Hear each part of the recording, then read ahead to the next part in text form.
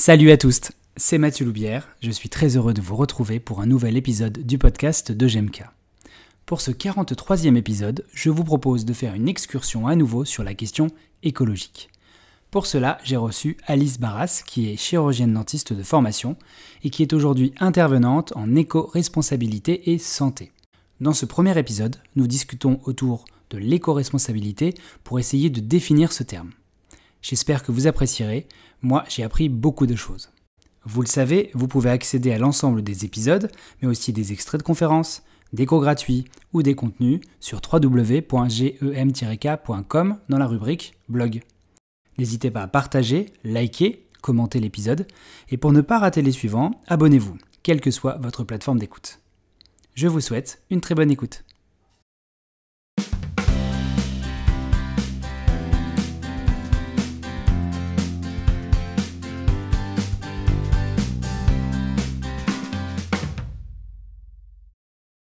Bonjour à toutes et à tous, euh, je suis très heureux de vous retrouver pour un nouvel épisode du podcast de GMK. Euh, vous en avez l'habitude maintenant, j'invite euh, une, personne qui touche de près ou de loin au, monde de la kiné et j'aime bien justement parfois m'écarter un peu des sentiers battus pour parler de problématiques qui nous touchent plus largement, voire même au niveau personnel, nous allons peut-être le voir dans, ce podcast.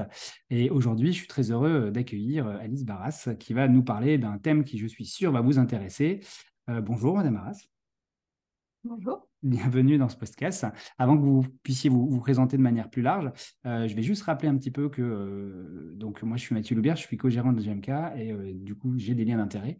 Et donc on a un petit lien d'intérêt aujourd'hui avec mon invité puisque elle propose une formation qui aura lieu au mois de juin là chez nous. Donc ça nous fait un petit lien en rapport à ça.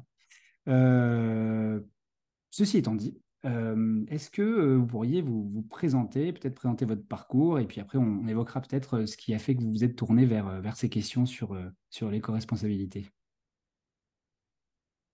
Eh bien, bonjour et rebonjour. merci Mathieu pour votre invitation.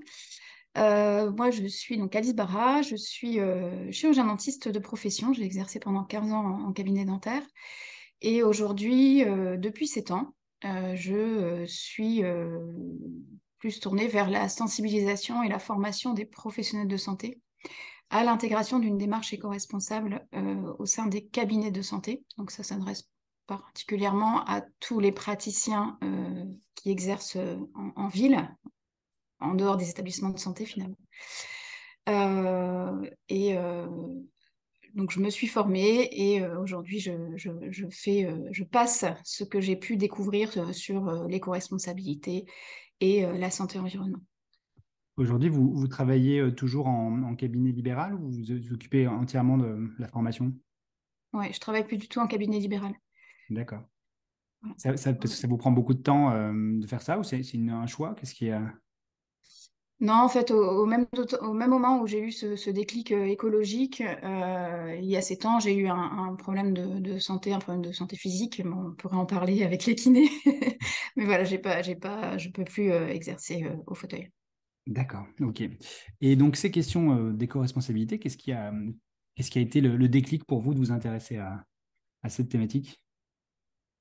Alors, ça a été un déclic perso au départ. Euh, comme beaucoup d'entre nous, hein, puisque enfin il y en a qui sont euh, déjà euh, bercés par ça dès la naissance et tant, mieux pour eux parce que je pense que c'est vraiment positif. Mais moi, ça m'est venu assez tard finalement. Et quand j'ai eu ce déclic écologique en me disant mais que, que fais-je Où vais-je Pourquoi j'ai autant d'impact sur l'environnement En fait, j'ai eu un, vrai stress et puis aussi de, me rendre compte en fait de l'état des écosystèmes et de notre maison aujourd'hui. Et euh, donc, j'ai voulu, euh, euh, par une démarche personnelle, en fait, j'ai essayé d'alléger mon poids environnemental, tout simplement, mon empreinte. Et puis, il y a eu plusieurs déclics qui se sont faits aussi au niveau professionnel. Donc, notamment, j'aurais souhaité mettre en place dans le cabinet où je travaillais à l'époque une démarche éco-responsable, donc notamment sur les produits qu'on pouvait utiliser, la gestion des déchets, etc. Et en fait, je me suis vraiment heurtée à, à, un mur, tout simplement. Donc, je ne comprenais pas pourquoi on n'arrivait pas à intégrer ça. en tout cas, moi, je n'arrivais pas à leur donner envie. et puis aussi des questions de patients. Vous n'étiez pas seul, c'est ça, dans votre cabinet à l'époque? Oui, c'est ça. Je ah, travaillais avec d'autres praticiens euh, et, des assistants dentaires. Euh, et, euh, aussi, je ne sais plus ce que je disais, par rapport à, à des questions de patients aussi qui me posaient des questions sur les produits que je pouvais utiliser, enfin les, matériaux que j'utilisais aussi pour les, soigner. Et en fait, j'avais pas de réponse, j'avais pas de connaissances tout simplement sur les risques qu'il y avait en lien avec ces produits. Et bah, ça ne me satisfaisait pas du tout de, dire, enfin déjà, je ne disais pas je ne sais pas, hein, parce que c'est compliqué de dire mmh. ça à un patient. Aujourd'hui, je pense que j'oserais le dire, parce que je pense qu'il y a vraiment un manque de connaissances, et donc il faut dire oui, je ne sais pas, et il y a toujours un petit, une balance bénéfice-risque qu'il faut assumer. Mmh. C'est tout, l'intérêt de la prévention. Exactement, je pense qu'on aura l'occasion d'y revenir. donc, oui, il y a eu ce déclic-là, et donc à ce moment-là, vous vous avez dit que vous vouliez vous former dans le domaine. Oui, j'ai cherché une formation sur l'écologie, tout simplement. Et en fait, donc il n'y avait pas encore beaucoup de, de, formations sur ce sujet-là. Donc j'ai fait un diplôme universitaire du développement management du développement durable en santé. Donc, il s'adressait plus à des, cadres de santé et euh, à des personnes qui évoluaient en établissement de santé. Donc, j'ai dû faire un petit peu l'entonnoir pour réussir à avoir toutes les informations euh, qui me semblaient hein, utiles pour les mettre au contexte d'une structure de santé de ville, puisque bien sûr que le management euh, entre une structure de santé et un établissement de santé, ça n'a rien à voir. Euh, et puis souvent, bah, le praticien libéral, il est euh, lui-même euh, son manager. Donc voilà, comment on pouvait réussir à intégrer ça? Et en fait, durant cette formation-là, j'ai eu plusieurs enseignements sur la santé environnementale, ce qui est une discipline de santé publique que je ne connaissais pas du tout. Et je pense que j'étais pas la seule en tant que professionnelle de santé à pas la connaître, puisque aujourd'hui je travaille beaucoup sur ce plaidoyer de formation à la santé environnementale et je me rends compte qu'encore aujourd'hui on ne sait pas euh, ce qu'est cette opportunité, euh, parce que la santé environnementale, en fait, c'est euh, une discipline de santé publique qui va nous permettre d'envisager l'ensemble des déterminants de la santé et de considérer donc notre environnement comme un déterminant majeur de santé.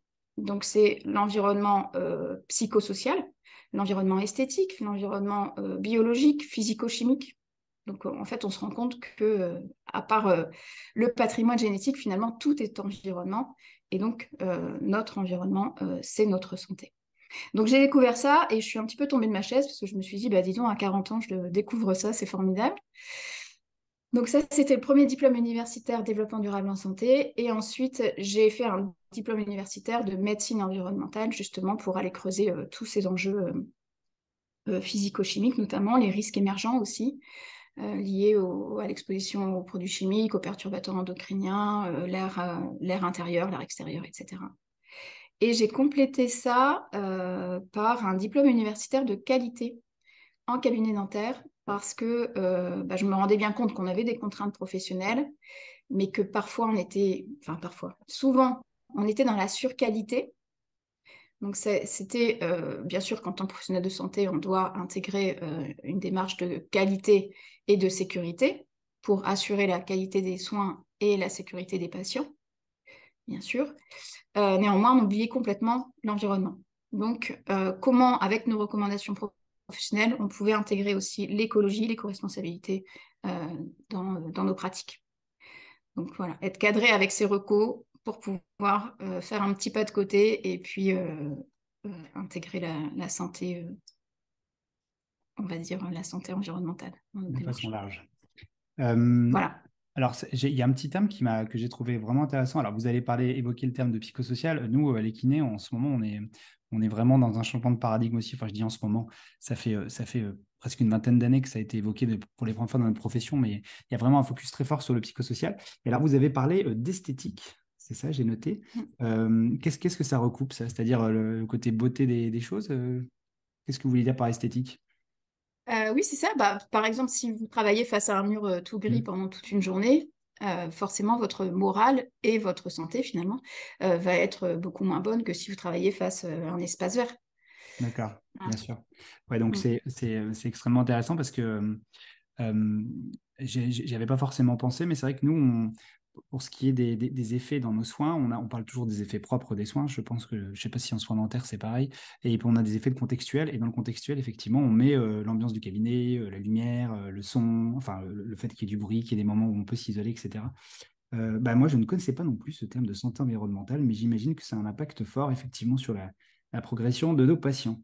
Peut-être, est-ce que vous avez des, liens d'intérêt éventuels à, signaler avant qu'on démarre Non, alors j'ai toujours du mal à, définir ce que c'est un lien d'intérêt. Donc, je, travaille avec beaucoup d'associations. Mmh donc, j'ai mon activité libérale de, formation et d'accompagnement, on va dire. Euh, mais je travaille aussi bénévolement dans plusieurs associations, donc je ne sais pas si vous voulez que je les cite. Ah bah si, tant qu'à faire, si ça permet de les faire connaître en plus. Voilà, bah, notamment il y a l'Alliance Santé Planétaire, euh, il y a l'association euh, Santé Environnement France, et puis le, le, collectif Cause, donc, collectif d'action face à l'urgence en santé et environnement, également le, la Société francophone de santé et environnement et le, le Shift Project. Sur lequel, euh, pour lequel je, participe euh, au rapport euh, du plan de transformation de l'économie française en santé. D'accord, je pense que vous, vous devez être bien occupé avec ça. Et vous avez créé du coup une, une, entreprise, une société, ou vous êtes en mode nom propre pour tout ce qui est ces activités? J'ai créé une URL en fait, quand j'ai, une fois que je me suis formée, j'ai voulu vraiment euh, tout de suite transmettre euh, au maximum, partager, chercher. En fait, il y a aussi beaucoup de recherche dans ce que je fais.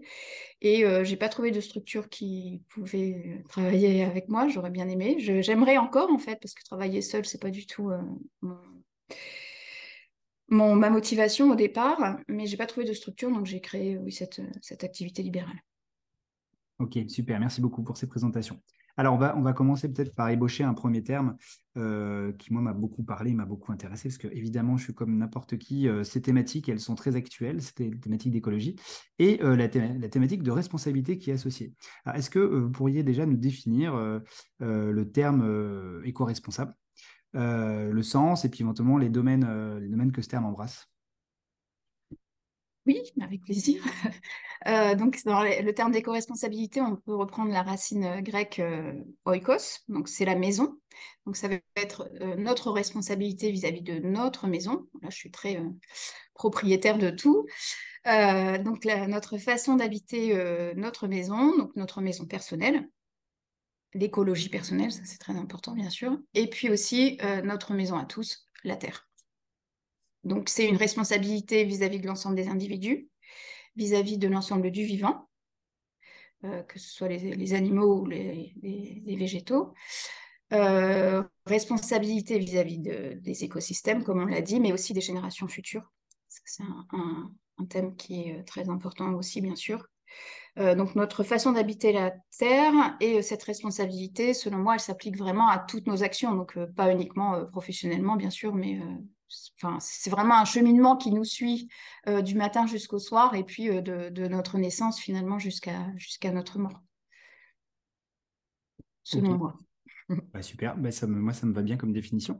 Et cette éco-responsabilité, euh, quels sont les, leviers que nous on pourrait mettre en place, peut-être déjà au niveau, au niveau personnel, pour essayer d'être un peu plus éco-responsable avant de parler d'éco-responsabilité au cabinet qui est, je pense, vraiment votre domaine de spécialité? Alors, euh, le levier de l'éco-responsabilité, en fait, euh, comme je disais tout à l'heure, pour moi, le, levier, c'est euh, la santé, tout simplement. En fait, on voit vraiment qu'il y a des co-bénéfices. alors, bon, on va dire que ça peut être une démarche assez égoïste, finalement, parce que c'est prendre soin de l'environnement, c'est prendre soin de moi et prendre soin des, personnes qui m'entourent. donc, une approche en co-bénéfice santé-environnement, c'est vraiment un levier intéressant.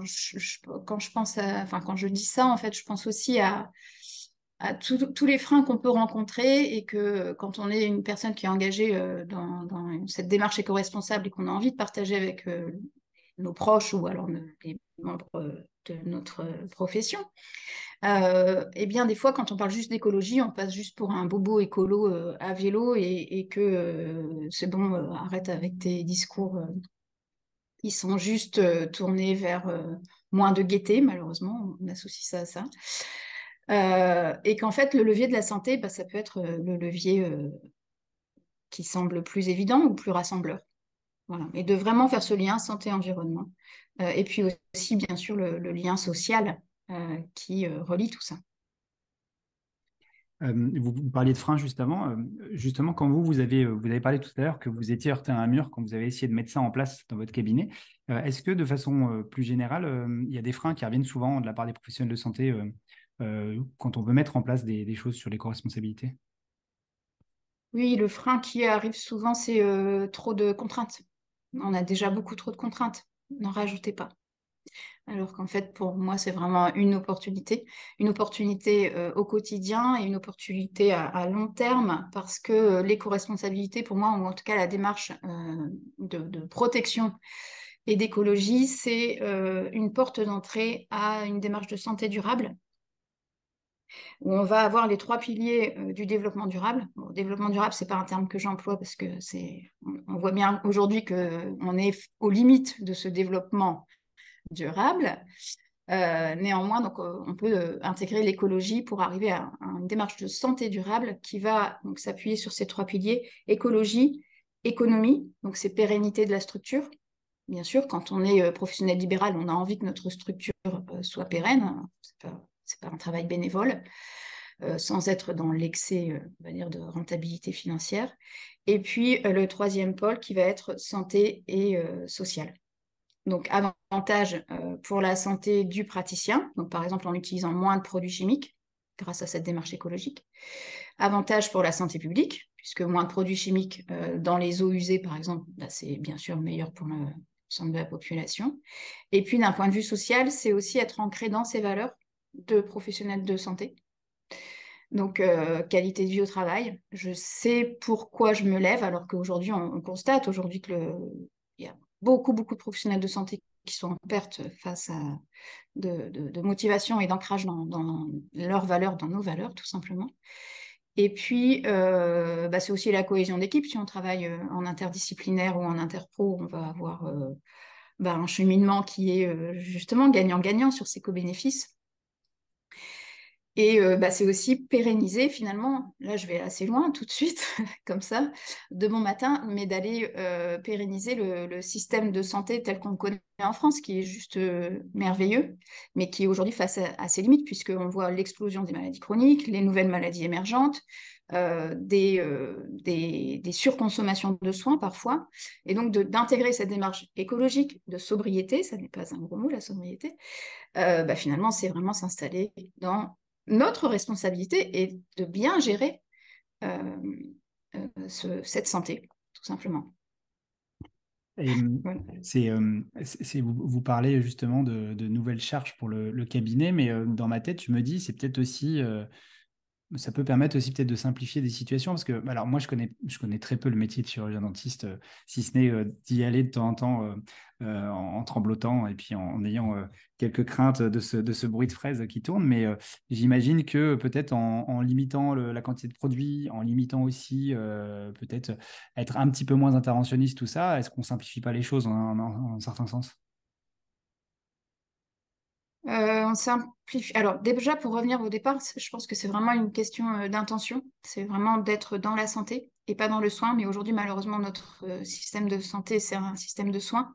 Donc, je pense que c'est aussi pour ça qu'il y a une petite perte de valeur, enfin, de motivation. et oui, encore une fois, c'est vraiment une démarche gagnant-gagnant. Effectivement, on va être vraiment dans cette. Alors, en plus, ce qui est intéressant, c'est qu'on ne va pas faire pour le patient, donc d'être dans cette consommation de soins, mais de faire avec, puisque tout va être réfléchi, donc sans se prendre la tête, bien sûr, mais on va euh, arriver avec une vision globale euh, de notre pratique et euh, pas faire le micro-soin sur la, micro-dent ou pour le kiné, le micro-soin sur le micro-muscle, enfin j'exagère, mais voilà, c'est vraiment une vision globale qui commence dès avant de rentrer dans le cabinet finalement. Oui, une approche on, est dans. Nous, je, ne vois pas d'inconvénient, moi. Je vois pas d'inconvénient. Ça demande du temps, c'est sûr, mais, mais ça a tellement de sens que bah, c'est OK. ça marche. Bah, de toute façon, j'imagine que si vous êtes dans le domaine, euh, évidemment, vous ne voyez pas d'inconvénient et que vous êtes plutôt en accord avec vous-même là-dessus. Euh, et moi, je pense que c'est bien, il hein. faut aller plus euh, vers là. Alors, justement, on va peut-être aborder la seconde partie de l'entretien où je voulais parler de l'application dans le cabinet.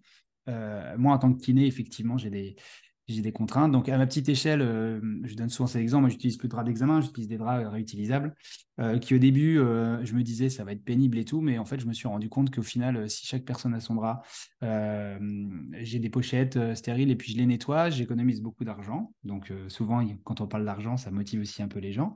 Et je me suis rendu compte également que ça me simplifiait justement la recherche et la commande de la commande de, comment on appelle ça, de consommables. Et au final, bah, sur le, papier au départ, ça m'a un peu enquiné parce que j'ai dû faire mon, benchmark pour voir ce qu'il fallait que j'achète ou pas. Mais j'étais super content de faire ça. Et je me dis, enfin, je pense pas me tromper en me disant que c'est un petit peu mieux quand même que je fasse comme ça pour la planète que pour le reste. Et donc, du coup, à la lumière de cette expérience personnelle, qui je ne sais pas si elle apporte grand-chose, mais voilà, j'avais envie de le dire, est-ce que... est-ce y a des, enfin, j'imagine qu'il y a des études qui ont été faites sur l'impact environnemental des professionnels de santé? Est-ce que vous pourriez nous en dire quelques mots? Euh, oui, il y a eu des études, il n'y a pas assez d'études. Ça, c'est hyper important parce que c'est vrai, quand, quand j'entendais votre, votre exemple qui est génial, parce que effectivement, de se tourner vers du réutilisable, ça paraît beaucoup plus pérenne en termes de temps. encore qu'il faut s'adapter au contexte, etc. Si on, se met à, tout stériliser, c'est compliqué. Mais justement, il ne faut pas être dans la surqualité. Mais est-ce qu'on a eu l'analyse du cycle de vie de, faire ce choix de passer du réutilisable au, à l'usage unique? Je ne pense pas. Je n'ai pas vu d'études, en tout cas, sur ce, thème précis des draps d'examen.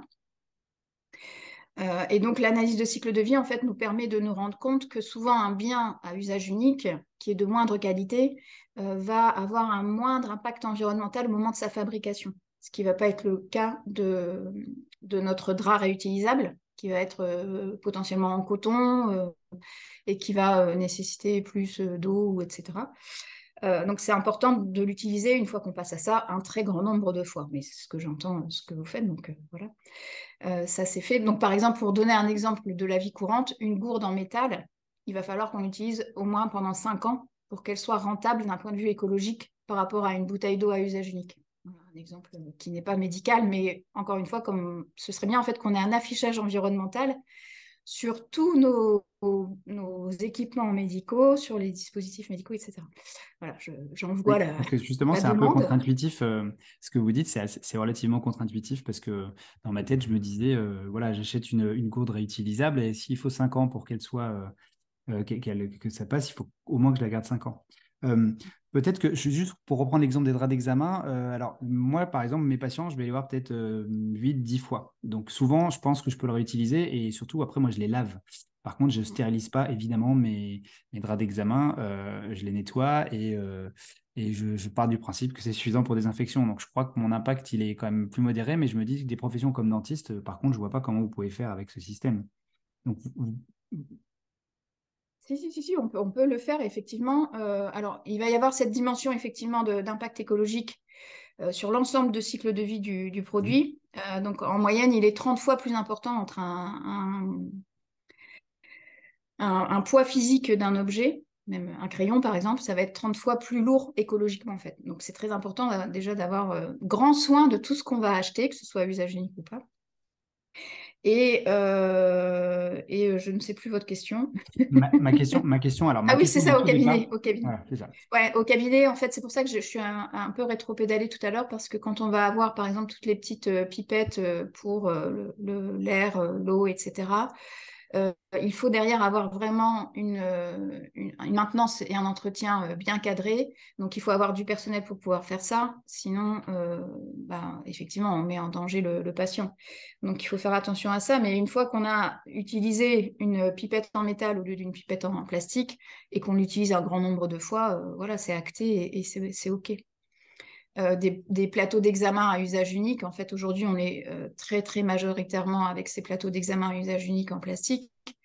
Euh, bien sûr que si on prend un, plateau en métal qu'on pourra utiliser toute notre carrière, bah, c'est forcément rentable en fait.